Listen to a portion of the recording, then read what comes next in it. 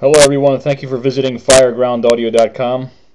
The following video will be a tutorial on how to download and install the TeamSpeak 2 server in order to listen to firegroundaudio.com's live fire radio feeds.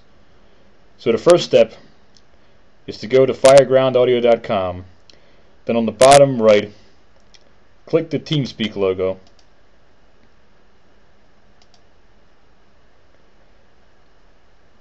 and that will take you to the download page. So if you're running on the Windows machine, you want to choose the first option to download the TeamSpeak 2 client.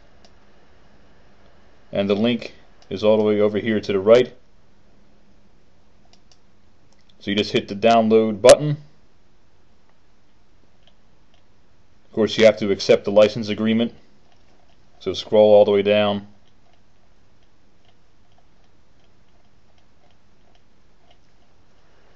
And hit I agree.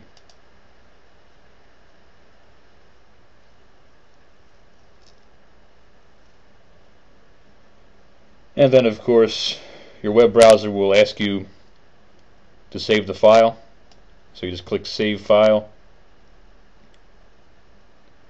And the file will download.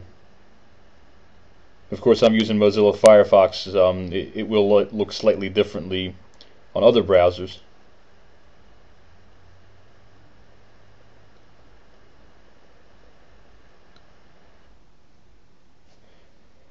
And the download is finished. So you just click open.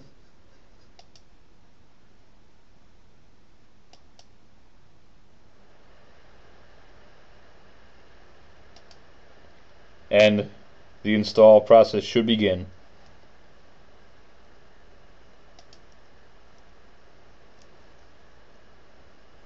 So the first box you will see will verify that you do indeed want to install the TeamSpeak 2 client.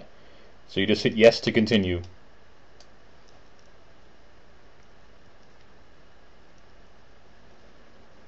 Go through the install wizard, hitting next, accepting the license agreement and the next window will tell you where the program will install to. By default program files backslash teamspeak2 underscore rc2 should suffice. The program requires just a mere 7.8 megabytes of disk space. So even if you're running a little low on hard drive space chances are you'll have enough to run the TeamSpeak client. Hit next the next window will ask you um, if you want to create a shortcut on the start menu. If you don't want to create one, you just click don't create a start menu folder. So we'll hit next, create a desktop icon.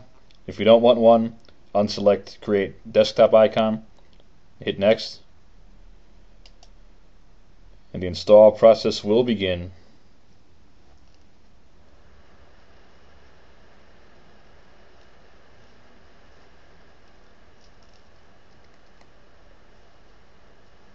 You'll see the TeamSpeak 2 icon on your desktop.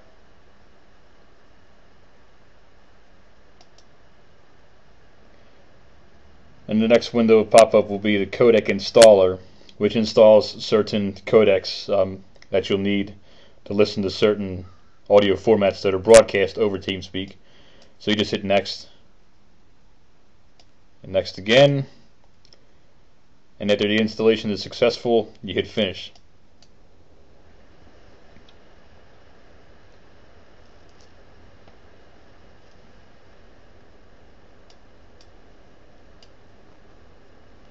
And finally you can make sure that launch TeamSpeak is checked when you hit finish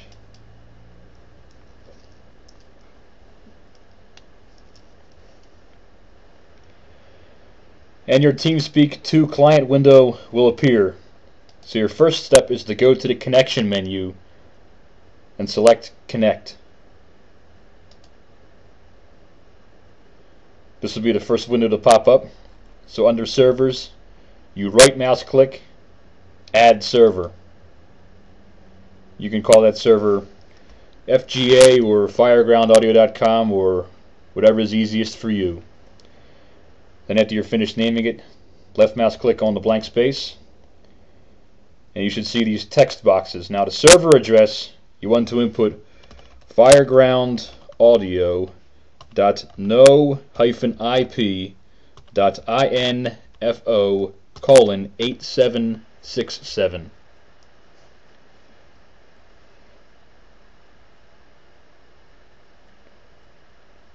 Now in order to register, please send an email to webmaster at firegroundaudio.com. Please provide a password when you do so so that I can register you in order to listen to the live fire audio feeds.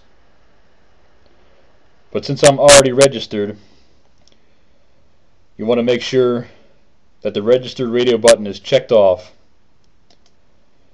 Enter your login name which will be your email address, but in my case it's FGA01, and your password that you provided to me upon your request to register.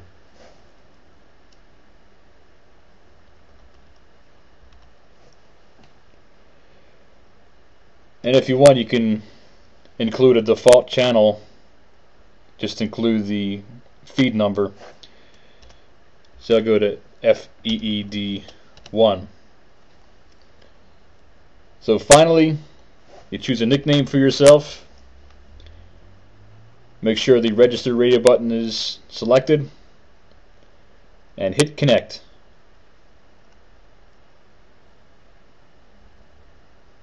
Link engaged. Now in order to select a feed, you just double click on the feed that you want to listen to. Switch Notice- channel. Notice by default that I was logged on to feed 1.